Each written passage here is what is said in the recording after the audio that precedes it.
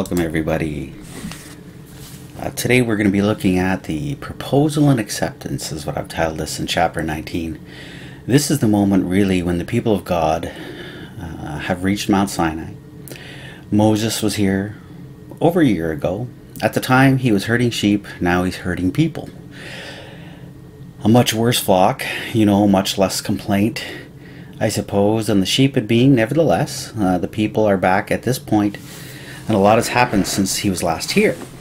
But this is it. This is really the reason God brought them out. He brought them out to bring them to this point where now He's going to propose to them. And in many ways, this chapter is God's proposal, and the people of God are given the opportunity to respond back to God. And that marriage motif really runs through the Old Testament, where God allows Himself to be described as their husband, and this, and they His wife. And this marriage, of course, gives rise to a whole, a lot of uh, texture of the Old Testament, largely because the wife turns out to be so unfaithful. So we have a lot of accusation of spiritual unfaithfulness and adultery, and so unconnected to the idea is there this idea of marriage uh, that has been entered into between God and His people. And of course, this is it. This is the point where we have, in a sense, the marriage ceremony, at least the beginnings of it. So this chapter is quite important. Chapter 20, as you know, is the giving of the Ten Commandments. And the next chapters deal with the law and the giving uh, God is giving to his people and entrusting them.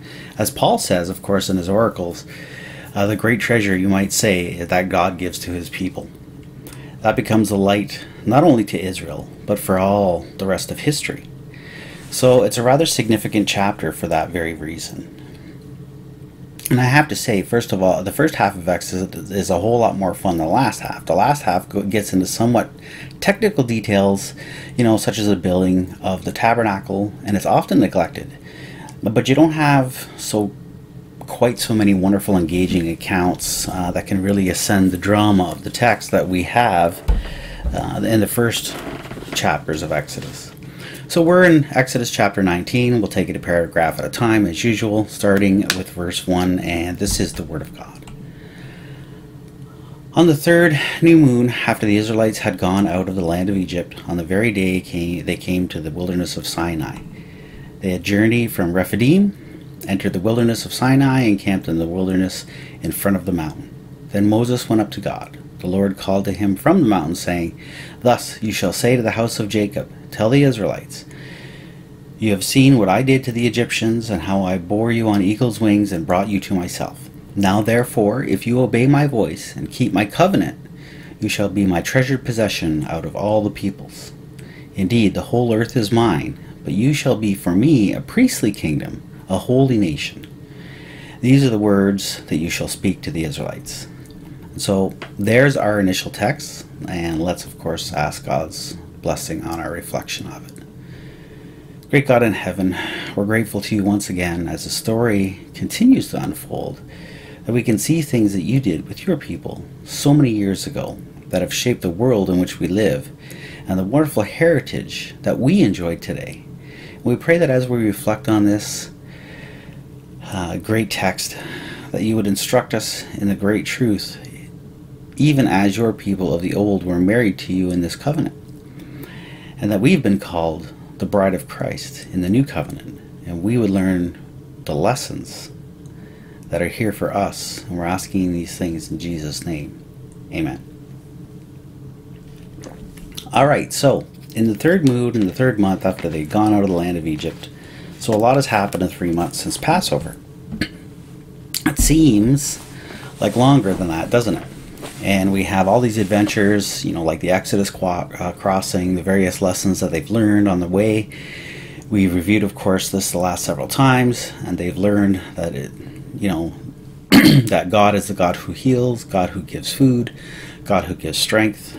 They learned that at Rephidim.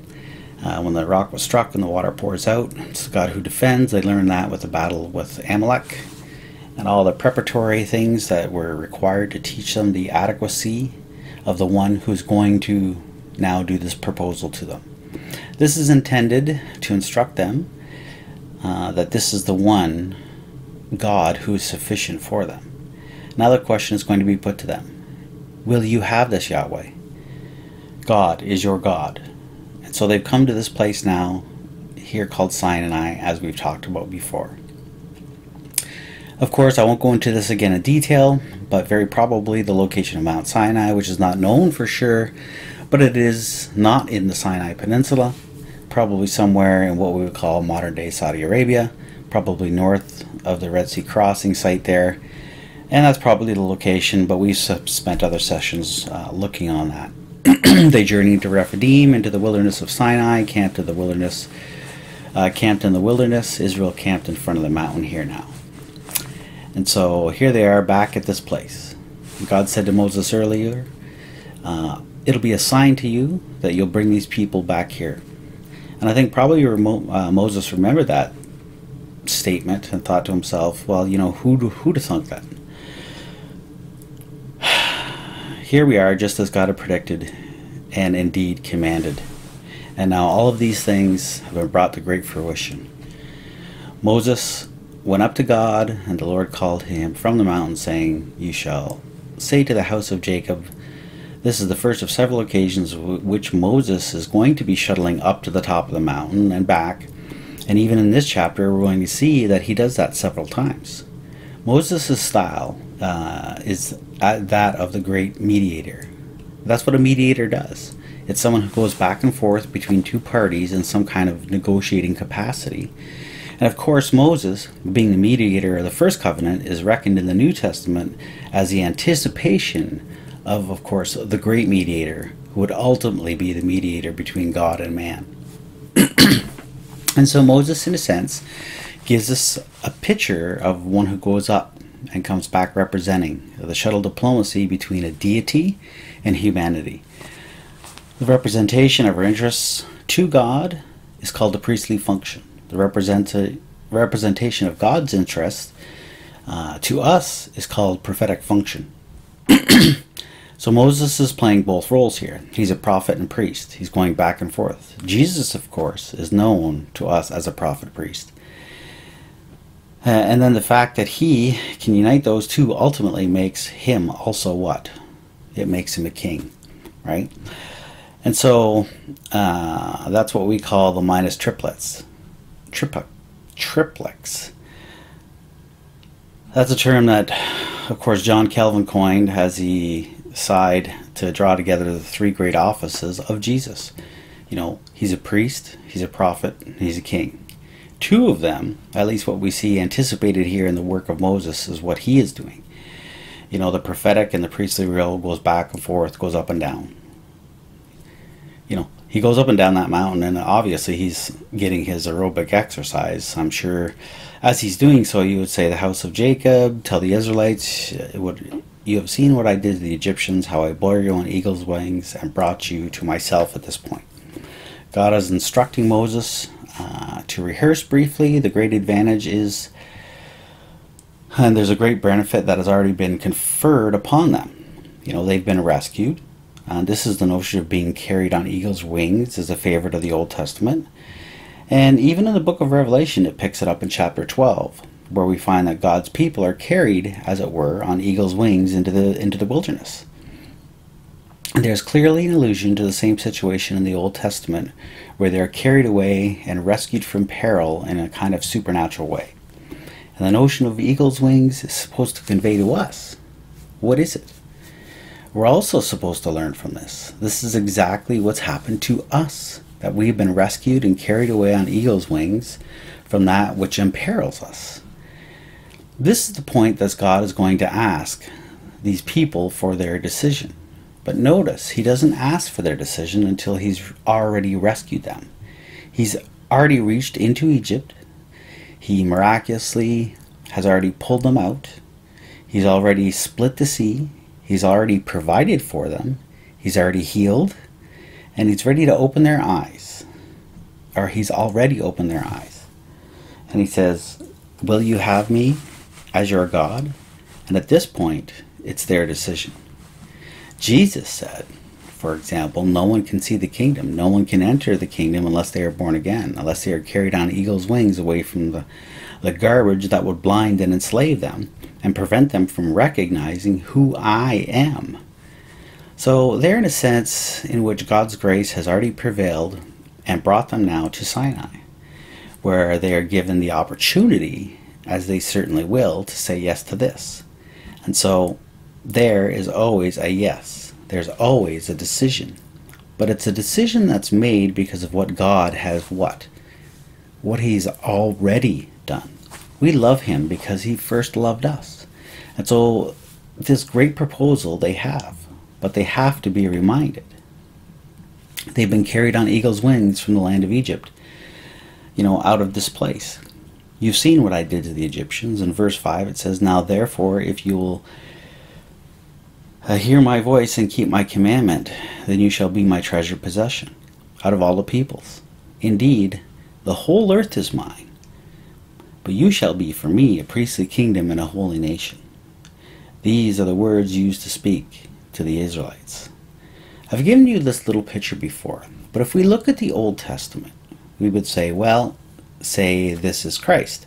This is the beginning of the New Testament era on a timeline, if we go way back to Genesis, we have the covenant that God made to Abraham. And we see that that covenant is kind of an overreaching covenant that runs all the way through and uh, accumulates in the promises made to Abraham and his seed, who Paul tells us in a narrow sense is Christ. Paul says in Galatians, he doesn't say uh, to seeds of many, but to the one who is Christ. We are the seed of Abraham. Derivatively, by virtue of being in Christ by faith, we can all call ourselves the seed of Abraham by virtue of being in Christ and united with him. All right, so you have a separate covenant that's made here with Moses. Not unrelated, but it's here. And this one also continues. And this one also accumulates with Christ. There are other covenants in the Old Testament, but these two seem to be the dominant ones. The ancient view of the people of God was that the covenant to Abraham was realized in the promises made to Moses. And that was an older view, and that was the Jewish view. And it continues to be the Jewish view to this very day that that covenant, the promise made to Abraham, was realized, and then the promise to Moses, uh, and in a sense, the one absorbed was absorbed into the other one. The New Testament, though, actually rejects that. Paul says in Galatians, the covenant with Moses, which came 430 years after the covenant with Abraham, did not abrogate that covenant. And that, in a sense, they both continue together, and running in parallel, and they both reach the moment when it was fully realized in Christ.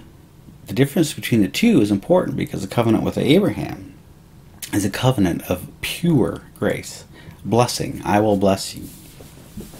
It's a unilateral because God could swear by no other he swore by himself on these things.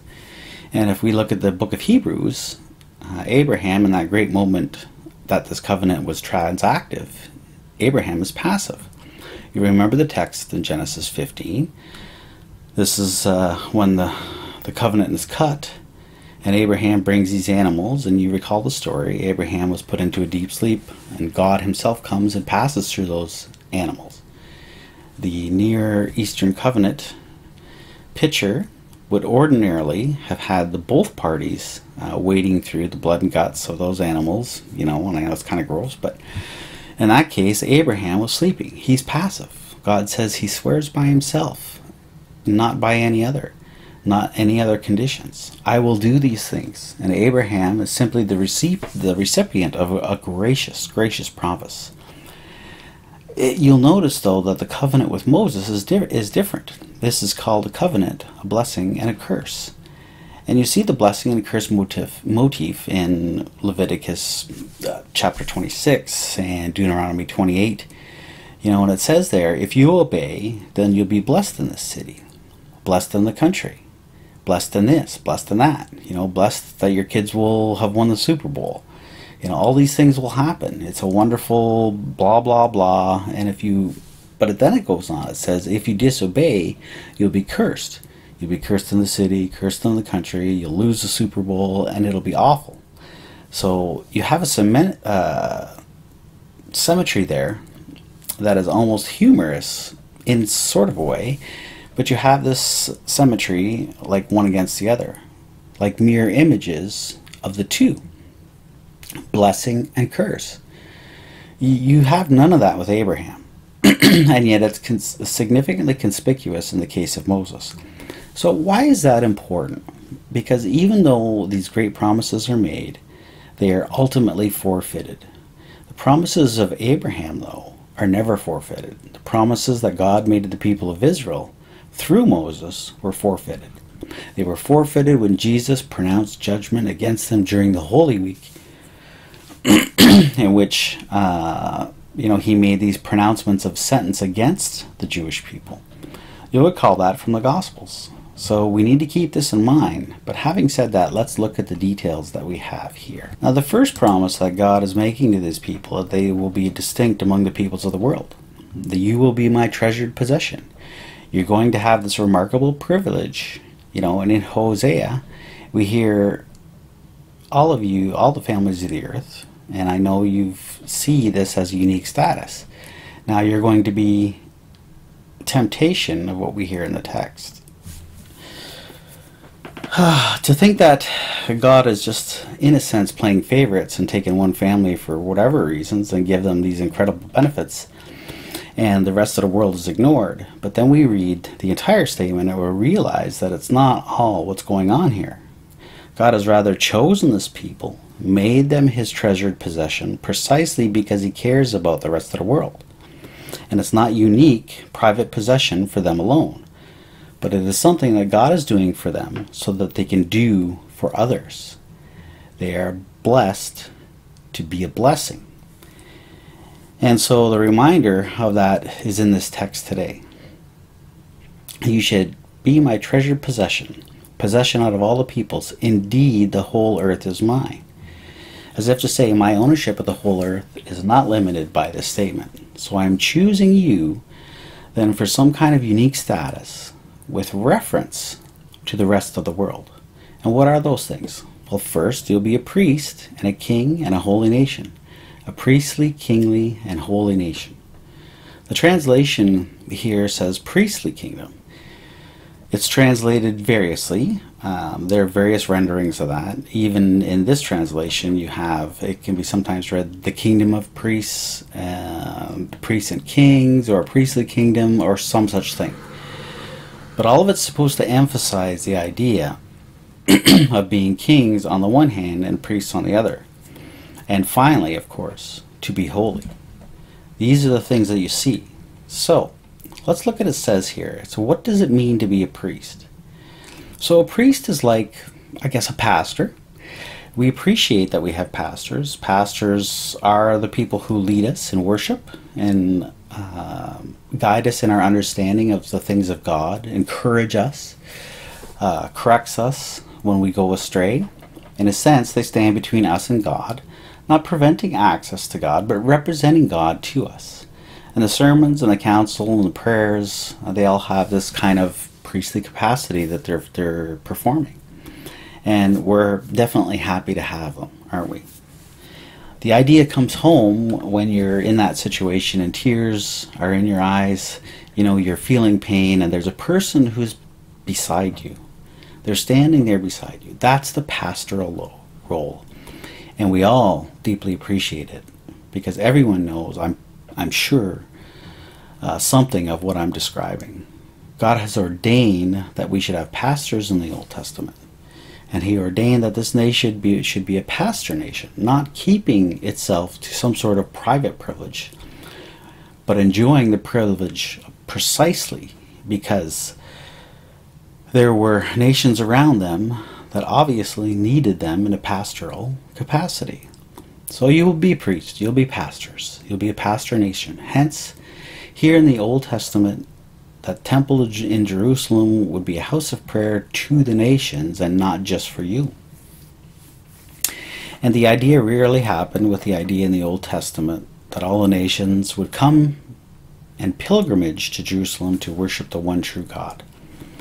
You know, they didn't all become Jews. Uh, there was no requirement of the nations that would be proselyted, but they were to be pastored. And there was a kindly priestly capacity here. So they were also um, to be kingly. The kingliness of Israel of the Old Testament was not a kingliness of political authority, but I think it would be better stated that the kingliness uh, would be that of a moral authority. God entrusted these people with his very oracles. Paul says they're asking the questions in Romans there, chapter 3. What is the great advantage to being a Jew? He's just kind of knocked the props out from under what many people thought were the advantages of being a Jew, and then he asked the question so what's left? What's the great advantage of being a Jew? When we see in Romans 3:1, he says the great advantages, there are great advantages in many ways. Primarily, to them was entrusted the oracles of God. And that's what's happening right there. Uh, they were entrusted um, to these people the most profound, the most insightful, the most progressive, and the most enlightened system, for example, of civil justice, of governmental theory, of moral law that the world would ever see or ever see again. And that's this great treasure that God had entrusted to his people. Jesus didn't come along to abrogate the law. Uh, he fulfills it. He raises the bar, but he never changes that and says, oh, I'll get rid of this he says the law was fulfilled in him.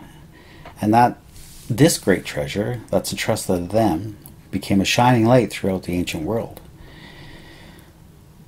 You compare this to, for example, the, the Code of Hammurabi or Solon or Numa, to these great lawgivers who were celebrated in the ancient world, and they don't even come close to this. That's a given. Isaiah tells us in the first chapter, Isaiah, the law will flow through or flow forth from Zion. And there's a sense, there's this great moral authority that God entrusted to his people so that the nations ideally would look to them for guidance, for life. Now, this rarely happened. We understand in the Old Testament that this was the actual idea that was trying to be conveyed here. They were going to be called a holy nation. They were a holy nation in a sense that they lived by a higher standard to the holy means uh, as being set apart from the rest of the world. The Hebrew word kadesh there means to set apart. They're going to live by a standard that will distinguish them among the peoples of the ancient world. There were all these regulations that come from that, and that seems to be kind of trivial from our point of view. You can trim, you know, you can only trim your bread in a certain way. You can't mix this with that uh, into one garment, for example. And we look at these things and we think, what a bunch of cultic taboos almost, uh, rather than a divine revelation. But we find as we look at it that what God is giving here is that He's specifically distinguishing these people, you know, with dietary regulations, circumcision, and all these things that are incumbent upon them. But we're told that they have to export all these to the world or sorry, they are never told that they have to export these to the to the rest of the world. Even when Jonah, for example, went to Nineveh, he didn't preach to them and say, "Okay, everybody's got to go kosher." What did he say? He said, "You need to repent." And so this is my point, I guess, that the pastor nation lives by a higher standard. They're distinguished in that regard. They have a priestly role. The pastoral role is a kingly role as well and it's intended to benefit the rest of the world. And as we were saying earlier, this is the covenant which God makes with his people. What we find and survey the Old Testament is that the people of God rarely perform this duty very well at times. You know, they do better at other times, uh, but we certainly see moments when this kind of great shining beacon of light uh, from under Solomon, for example, or David, but especially towards the end, we begin to find increasingly people coming, speaking for God, prophets who are critiquing them. You know, you're turning your back on God and of this covenant. You're abandoning the covenant of your husband. And these people, or sorry, these prophets uh, come and warn them that they need to repent or judgment will come. So this is the, you know, the blessing slash curse that's being referred to. And you know the the major prophets and the minor prophets, they all kind of beat as one drum. They keep be beating, warning these people about their disobedience. But the message largely goes unheard. You know, I know I'm oversimplifying this here, Uh, but finally, the greatest of all prophets come. You know, Jesus comes and he goes to Jerusalem. He goes to Jerusalem as the judge. He enters the city triumphantly on a donkey. He goes to the temple, inspects the temple, doesn't like what he sees, chases out all of these simple money grabbing people that were there in the temple. And he says, You know, you turned it into a den of thieves. Then he comes back on the Tuesday and pronounces his judgment upon it. He says to them, The stone that the builders rejected had become the chief cornerstone. And it's a marvelous thing in our eyes as we look back, of course, alluding to himself, the stone that's being rejected by these particular Jewish leaders. He says, Because you've killed the prophets, and because you're going to kill the very Son who came to give you this warning, the kingdom is taken from you and given to others. Remember, that's all what's happening on Tuesday of uh, Holy Week, and it's taken from you and given to others. This is God's sentence against Israel hundreds of years later after they have finally failed and been given so many chances to repent. You know, they breached the covenant, they found themselves under the curse side of the covenant of Moses. Now, if you'll just bear with me here, I just like to refer to 1 Peter and Peter was there when Jesus made these pronouncements of judgment. You know, Peter was there. He's writing this later, probably in the mid 60s AD, but he's remembering it as if it were yesterday. Jesus pronouncing these judgments against the Jewish leadership or the religious leadership that had become so corrupted. And he reminds his audience, and it's in these words. So I'm reading from uh, Peter's first uh, uh, letter and First Peter chapter 2 beginning at verse 4. So let's take a look at this. Peter says, Come to him a living stone. Jesus is the living stone that we've talked about that. He's the chief cornerstone of a new temple, which is a living temple, an organic temple, a living stone. Though rejected by men, Jesus was rejected by men, yet chosen precious in God's sight. And Peter continues living like stones like living stones. Let yourselves be built into a spiritual house. So Christ is a cornerstone of a new house, a new temple. Because the temple in Jerusalem, not one stone would be left upon in the other. And it's going to be set aside. A new temple is now taking its place. And these are living stones. And those living stones are, namely, you and me. To be what? To be a holy priesthood, priesthood to offer spiritual sacrifices acceptable to God through Christ. So, in Peter's mind, what he's saying is that we're now part of a temple composed of living stones. Sacrifices are being offered, but of course, the sacrifices offered here are not animal sacrifices, nor are they sacrifices of atonement, but they are sacrifices of consecration.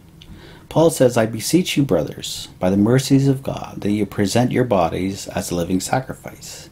These living stones, the bodies of ours, are the very thing we sacrifice to God daily as we live out our lives in devotion to Him. So that's the sacrifices in this temple, and that's what it stands for in Scripture. I'm laying in Zion a stone, a cornerstone, chosen and precious. Whoever believes in him will not be put to shame. To you, then, who believe, he is precious. But to those who did not believe, to those who rejected Christ, the stone the builders rejected became the very hidden cornerstone, a stone that makes them stumble, a rock that makes them fall. They stumble because they disobey as they were destined to do. Peter is agreeing now with God's great judgment that's pronounced against the people that has been connected to God under Moses and had failed and rejected Christ as their source of salvation.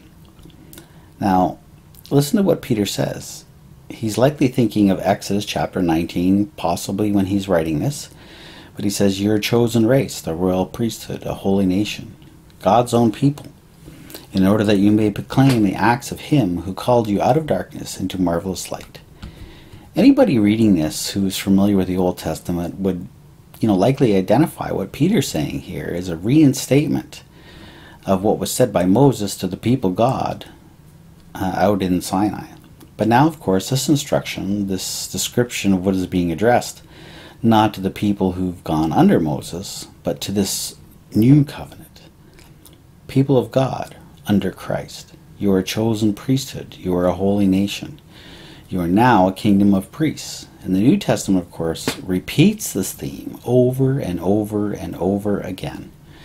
So, in a sense, what we're saying is that this is happening is also being realized.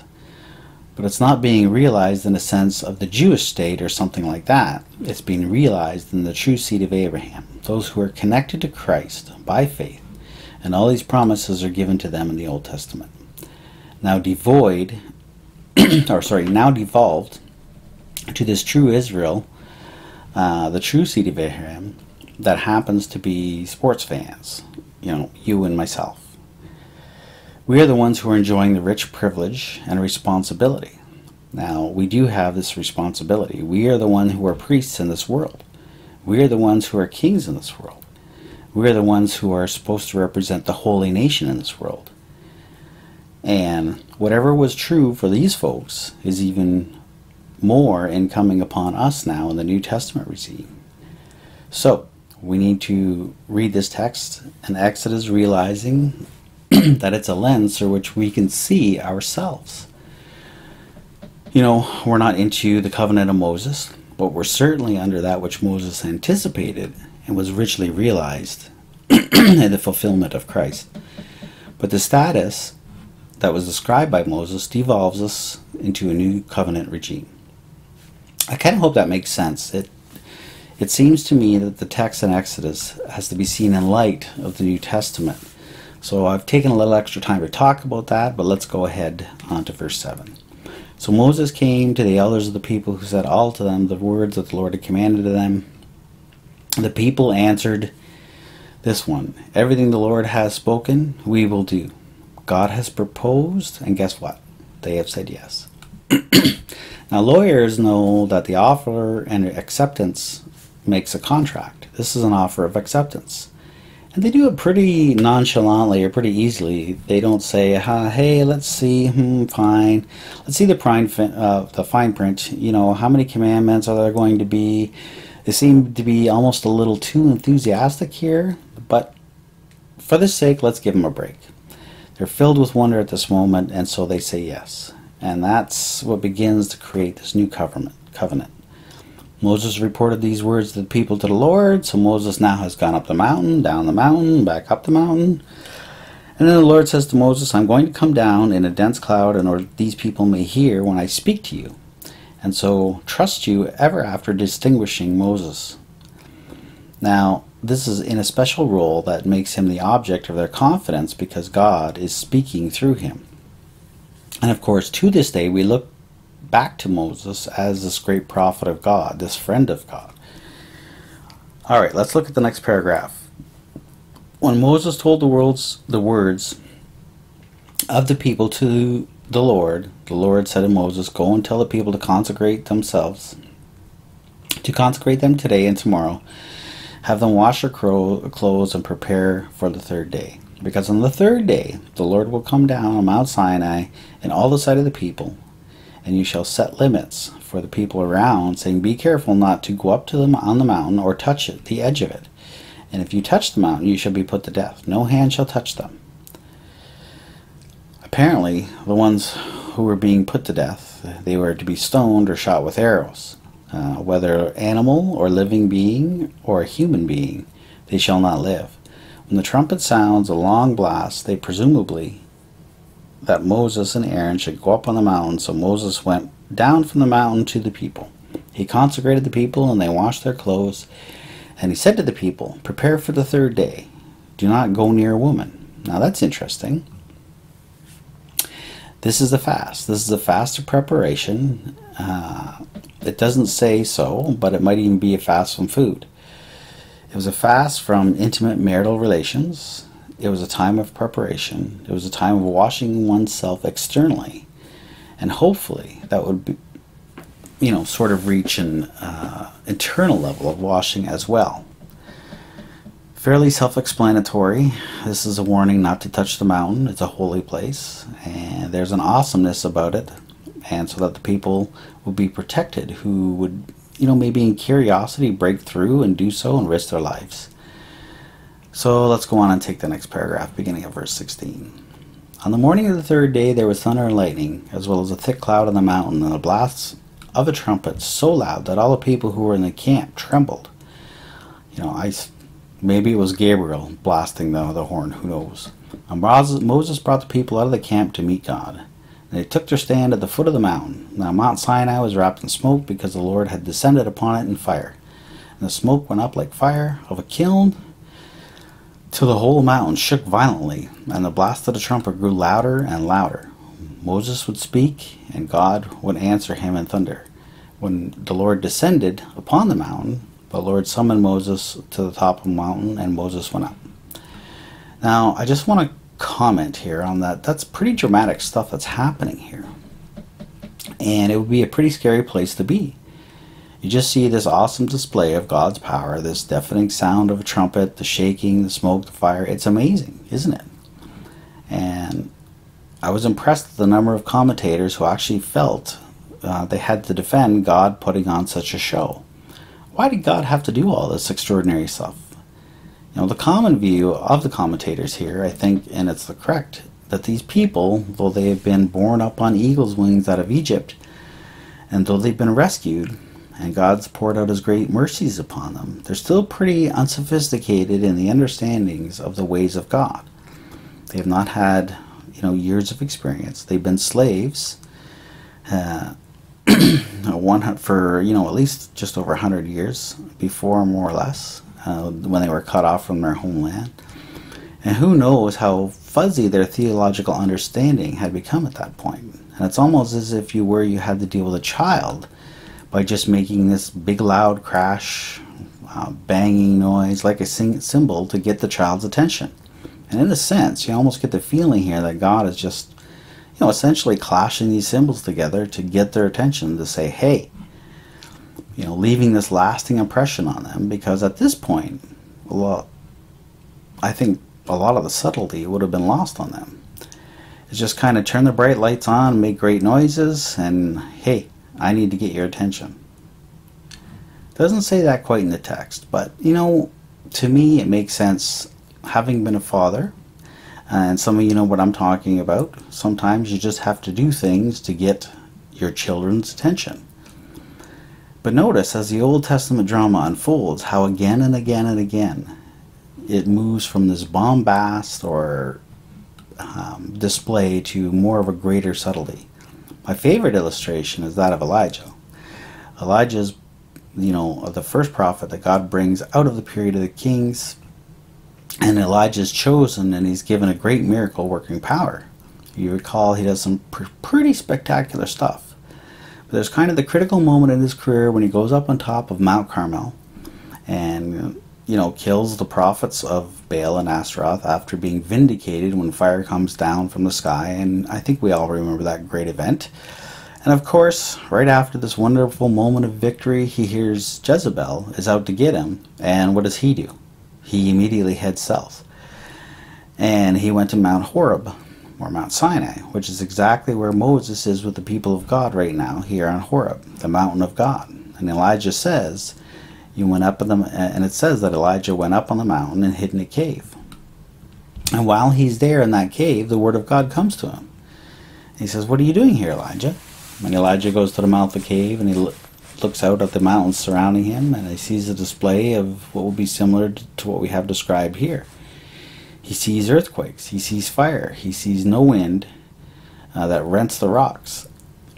He sees these incredible displays of God's power, and then we have something very expect unexpected. You know, this still small voice comes next.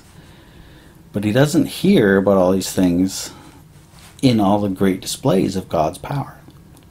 God was not into. Interesting. All these powerful displays, God is not in them. He hears a still small voice. And that's where God's truth is disclosed. And it's even if Elijah had begun realizing that God really speaks to us not too much not so much in a bombast way, but through the subtleties of that inner hearing of the word, a heart that is disposed to accept the truth. God rarely comes to us and knocks us upside of the head, you know, He's now sometimes he does, but he usually doesn't do that, does he? That's not his preferred method. He wants to speak to us in a more quiet, subtle way. Jesus, when he's born, he's born in a barn of peasant parents in a little town, grows up in obscurity, lives a fairly um, simple life by the standards, you know, a modest life for a guy who's the king of the universe. Not a very impressive life. All of this to say that we'll, while we have this miraculous display of God's power at this point, really God is heading towards a redemption that reaches down deep inside of us. That we need to be those who hear Him in a still small voice. Now, I don't want to lapse into subjectivism here, uh, but we need to hear the still small voice through the scriptures, you know. But nevertheless, that's how God speaks to us, isn't it? Even though we have this miraculous display of power at Sinai, we realize that that is not the norm. In the New Testament, we have Sinai compared to that great city. Remember in Hebrews chapter 12, we're coming to this city that we see with what? The eyes of faith. and this is the place where we finally realize the great redemption that we have in Christ. So even though we can be quite impressed with things, I think we need to realize that there's a reason for that at that time. Hadn't necessarily been the style of people the style of the people of God or the style of God in history on an ongoing basis. Uh, we haven't quite done justice to chapter 9, and I don't think we would. So I'm going to come back next time and pick up and tie up a few loose ends, and then we'll get into chapter 20. now let's close in a word of prayer. God in heaven, we're deeply grateful. We know that none of us has gotten the right answer uh, fully. And we pray that our conversation today uh, will, uh, will not inspire any kind of negative thoughts or animosity, certainly, but simply to generate a loving appreciation of you know that you are the God of history and that you are doing what you want in history. Uh, this is our unspeakable privilege to be part of it, and we pray that we might play our roles out faithfully, trusting you and seeing your hand in our lives in the way that brings glory to you, Jesus. We give thanks for all this in the name of Jesus. Amen.